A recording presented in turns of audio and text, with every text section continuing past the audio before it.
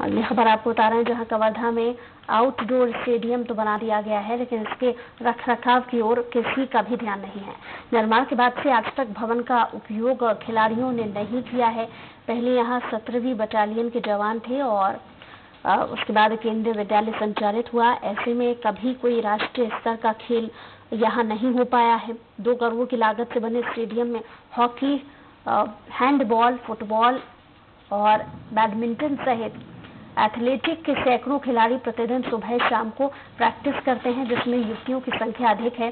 पीने का पानी, लाइट, टॉयलेट और चेकिंग रूम की कमी एक बड़ी समस्या बनी हुई है। मैदान में कोई भी वाहन लेकर पहुँच जाता है। इतना खर्च करने के बाद भी खिलाड़ियों को स्टेडियम जैसी सुविधाएँ यहाँ नहीं मिल पा रही हैं।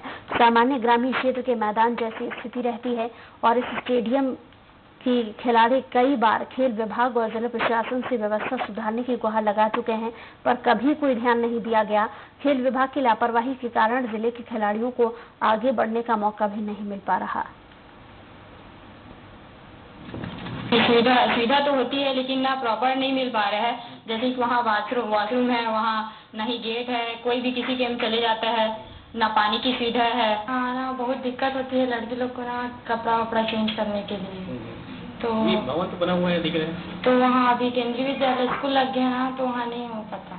यूज़ खिलाड़ी लोग नहीं कर रहे हैं जिसमें शासन लगवा रहा है कि कौन लगवा रहा है पता नहीं उसमें स्कूल स्कूल लग रहे हैं। प्राइवेट है कि क्या? संस्था द्वारा लग रहे हैं पता नहीं। क्या इसकी शिकायत की है कभी आप लोगों ने?